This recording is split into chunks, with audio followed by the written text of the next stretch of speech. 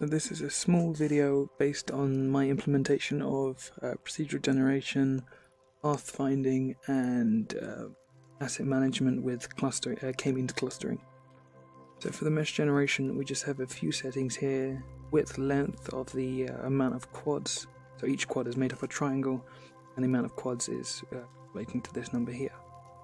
So the noise map will uh, is the is using uh, Perlin noise to create um, a noise map, and uh, it's based on the persistence, the lacunarity, and the scale. If I wanted to zoom in or out of the noise, as well as there's a seed, um, so that the map can always be saved and accessed at a later date. There's a few. Uh, there's a height multiplier to increase the height of the mountains and uh, the depth of the seas. Here we have a color gradient which will use the noise map to uh, create a color map and here we have a curve to um, increase at which um, which height these should apply to. So I can either uh, increase the smoothness or the um, uh, the smoothness of the terrain based on the color which can help with mount- uh, mountainous terrain as we'll see in a minute. Here we have uh, a, a method of implementing which nodes are walkable and which ones are not.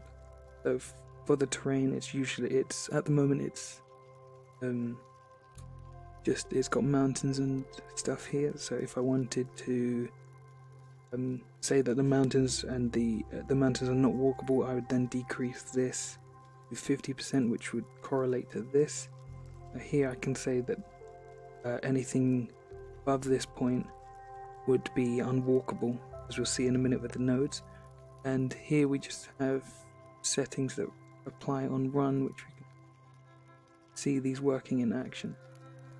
Here we have the amount of days, which usually only works well with 1 and 2.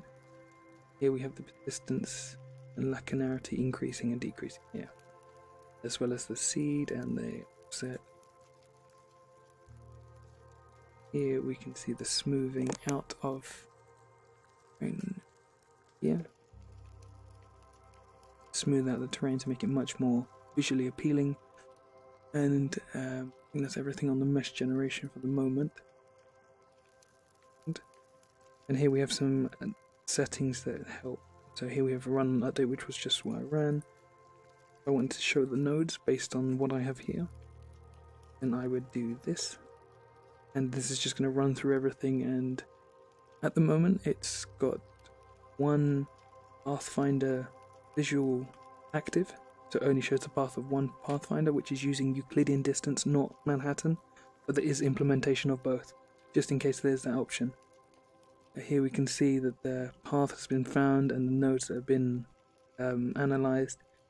And I think, uh, no, not in this one, but if I were to go into here um, and just, it, this is everything based on the clustering, the centroids, the number of placement attempts before gives a, a report back saying it cannot do any more in case everything is unwalkable and here we have the option to just show one so I'm just going to untick this and show you what everything is like together. This is with the mountainous terrain not walkable and this is just going to attempt a few times. At the moment I've got it set to 5 but this can increase which um, showing. Yep, so I couldn't find any placement but it shows all the nodes so if I increase on here, if I increase this to 10, the amount of clustering attempts. So the clustering attempts is it attempting to replace the clusters and try again to see if the spread of um, assets is even between the between everything. It finds a suitable set of rules. This does take a moment. It could have been better if I split it up. But this is the method that I've chosen.